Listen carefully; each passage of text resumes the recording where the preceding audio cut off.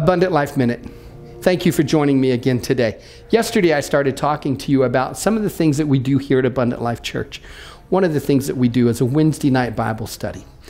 I believe that people need to study the scriptures and know what God is teaching through the Word.